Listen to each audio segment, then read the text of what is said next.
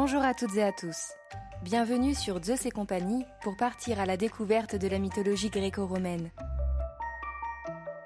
Dans cet épisode, je vous propose de découvrir le gardien des routes et des carrefours, le dieu des voyageurs et des commerçants, celui qu'on surnomme le messager des dieux, Hermès de son nom grec ou Mercure. Zeus et compagnie, un podcast RCF présenté par Lauriane.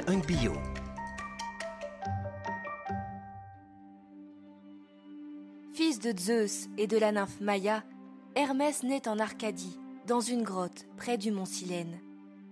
Zeus lui-même déclara Tu seras messager des dieux. Car dès sa naissance, le jeune Hermès fait preuve d'une vigueur et d'un dynamisme incroyables. La légende raconte que né à l'aube, Hermès se serait défait de ses langes et aurait inventé la lyre en liant des cordes dans une carapace de tortue. La tortue devint ainsi l'animal qui lui est consacré. Après cette invention, le jeune dieu se rendit en Thessalie où son frère, le dieu Apollon, avait été envoyé pour garder les troupeaux du roi Admète. Hermès profita d'une étourderie d'Apollon pour lui subtiliser les bœufs. Un vieillard fut le seul spectateur de la ruse, mais lui fit la promesse de garder le secret. Hermès choisit alors de le tester. Il se déguisa et tenta de corrompre le vieillard qui finit par raconter ce qu'il avait vu. Le verdict d'Hermès fut alors sans appel. Il métamorphosa le vieillard en pierre, lui qui avait juré d'être muet comme une pierre. Zeus finit par intervenir afin que les troupeaux soient remis à Apollon, qui se réconcilia avec son jeune frère. Une version du mythe raconte même que le dieu Soleil, émerveillé par le son de la lyre créée par Hermès, finit par lui laisser les troupeaux en échange de l'instrument. La vivacité d'Hermès en fait un dieu aux multiples qualités et attributs. Messager des divinités, il parcourt la terre et le ciel grâce aux sandales créés par le dieu forgeron Héphaïstos, avec lesquels il allait livrer la parole des divinités avec une rapidité extraordinaire.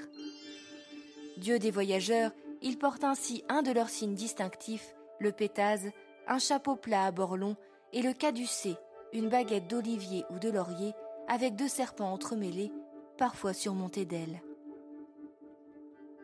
De nombreuses statues à son image, appelées les Hermès, ornaient ainsi les carrefours et les routes principales afin d'indiquer le chemin aux passants. Dieu des commerçants, on le retrouve aussi représenté avec une bourse d'argent.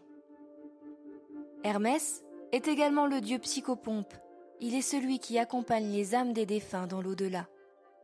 Habile, astucieux, voire malicieux et arnaqueur, le messager des dieux est ainsi vénéré comme protecteur des voleurs.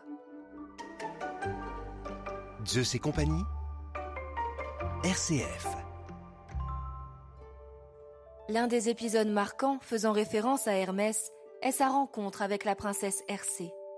Un jour, alors que les filles du roi d'Athènes Cécrops revenaient d'une cérémonie en l'honneur d'Athéna, Hermès, qui passait non loin de là, aperçut Hercé et en tomba irrésistiblement amoureux.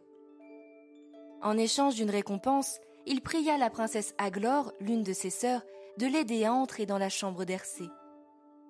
Mais alors qu'Hermès partit récupérer ce qu'il lui avait promis, Aglore fut mordue par la déesse Envie et ressentit alors une vive jalousie face au bonheur de sa sœur.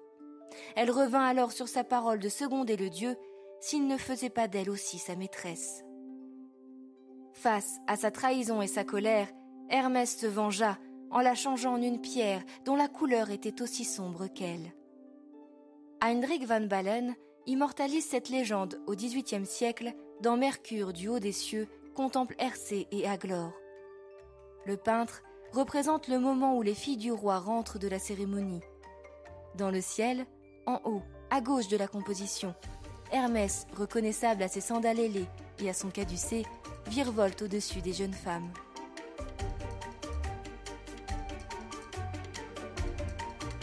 Dans le prochain épisode de Zeus et compagnie, nous partirons à la découverte de la gardienne de la vie familiale, la déesse Estia.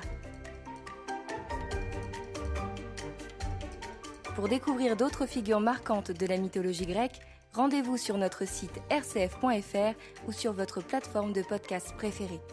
N'hésitez pas à faire connaître Zeus et compagnie autour de vous en le commentant, le partageant ou en laissant des petites étoiles sur les plateformes. Et puis il y a aussi nos autres podcasts pour les enfants et leurs parents. Quand je serai grand, les histoires fabuleuses des grands explorateurs ou La Fontaine, le podcast qui reprend les grands textes du fabuliste. Des podcasts à découvrir partout, tout le temps. Bonne écoute et à très bientôt pour de nouvelles aventures mythologiques.